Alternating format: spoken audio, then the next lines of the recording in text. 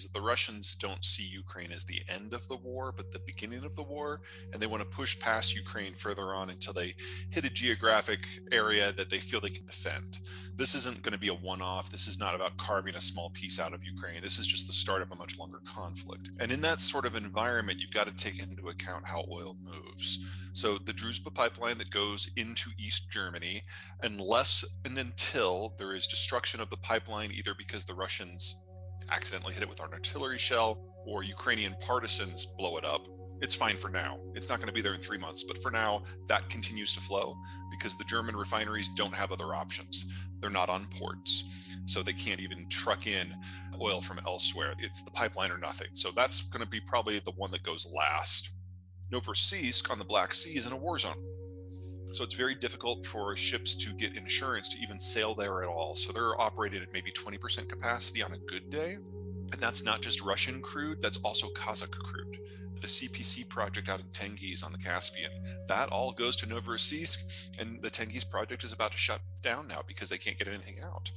All of this is backing up pressure. The facility on the Black is now not the only one. There's been about 20 others that have either slowed or even stopped runs because they have no place to put their refining product.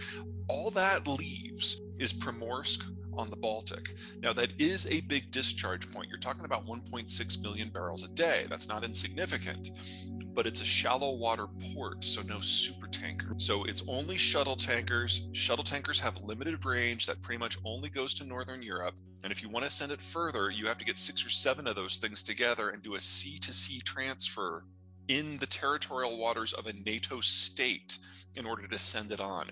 And that is not a viable long or even midterm option. So we're seeing the pressure building up already. And probably within a month or two, they're going to be forced to shut in production for the long term. The Russians didn't get everything back online until December of 2021. That 30 years that it took them to get it back online, that included work by BP and Shell and Exxon and Schlumberger and Halliburton and Baker Hughes. They're all gone now. Yeah, at a minimum, you're talking about needing to have a replacement government for the Putin regime. Well, the Putin, the Russian government would need a completely new leadership cadre. It's not clear that one even exists. And then they would have to hold the line and generate stability lasting at least 10 years before you could even start the real work. So we're, we're getting to a point where everyone but the Germans are cutting Russian energy out of their equation. And even the Germans are bending over backwards to try to build alternate infrastructure, but they're the ones that have the furthest to go. So it's just going to take a little bit longer. But at some point this summer, assuming that the oil is still flowing, the European demand for that stuff is going to drop, and there's no way that the Europeans are going to keep their waterways open in order to facilitate other people benefiting from what they're paying for. So, one way or the other, we are looking at the end of open seas in many areas for oil transport. We're not there yet. So I'm just spitballing here, but my best guess is that the Turks would manage to carve out an exemption for themselves so that they could still get crude uh, access and food access on the Black Sea because they are a littoral state. But it's really difficult for to, to see anything beyond that. No, the, the 2015 bill uh, is what allowed the United States to export crude in the first place. Until then, we had not exported crude except for uh, by executive exemption going back to 1973. Uh, so in 2015, we shifted the law so that crude could be directly exported without a presidential exemption any longer.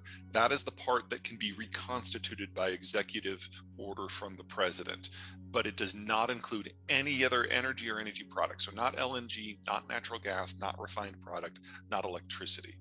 So we would be entering in a world where the United States' supply of light sweet that until now has gone worldwide, that is removed but American refiners could still export their surplus refined product, and American importers could still access international crude if they wanted to. But this is going to generate such a huge price disconnect in a post Russian oil environment that we're talking about an environment with a functional ceiling in the United States and probably Canada of about 70 to 80, and then a functional floor everywhere else that is at, at the absolute minimum like 170.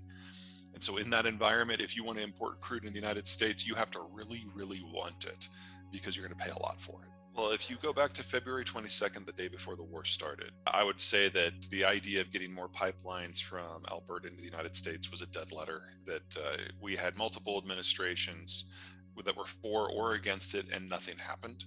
And if it wasn't going to happen under Donald Trump, it wasn't going to happen, period. But now we're staring down a global energy shock. And that's going to change a lot of people's minds when it comes to energy security issues. But never forget that Biden, like Trump, like Obama, is a populist. And so he's not going to do things based on the economic numbers unless those economic numbers are something that directly impacts his political standing. So in the United States, gasoline prices are a hot button issue right now. And because of what's going on in Russia, they have gone up. And with what's about to happen in Russia, they're going to go up substantially. The oil export ban will help contain the damage.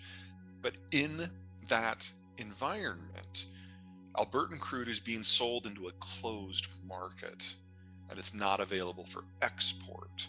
So you would be stuck getting the mid continental price for oil within the United States, which will probably never go above 80 again because of the changes that are coming. There'd be a elasticity in all the products globally that you don't think that could happen i don't think this can happen with crude now you that can change with an act of congress but Congress is slow and there are a number of factions involved, and they would probably, most of them would probably be thrilled with having a, a cap on what oil prices in the United States can be. now you're right that there will be elasticity in other things, especially refined product, because if you can buy crude for 60 to 80 dollars in North America as a refiner and then sell it into a global market where it's below or above 170, I mean that's sure. a slam dunk business decision. So we're going to see this explosion in uh, refining capacity expansion in the United States, specifically along the Texas coast, to take advantage of that differential the elasticity that we're likely to see is going to be in other things. For example, California didn't participate in the shale revolution. They're not linked into the American oil transport grid in any appreciable way, and they are the state that imports the most crude.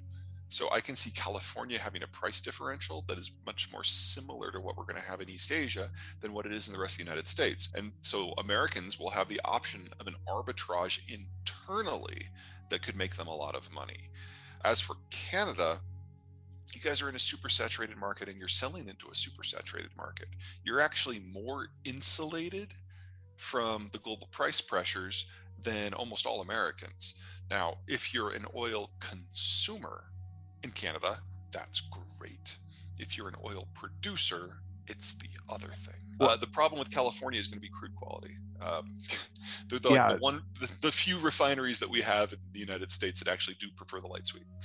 Uh, one of the things that we're seeing with crude right now is we know we're going to lose four to five million barrels a day of, of Russian crude. That is going to force the Europeans to go re-interface with a lot of their former colonies in Africa to make sure that crude goes north instead of east, which means that you're going to have this massive shortage in the Chinese market they're not going to be able to function if they lose half their energy. So, in the time that it takes a new pipeline to get stuff off to the Pacific, there's probably not going to be a Chinese economy to sell to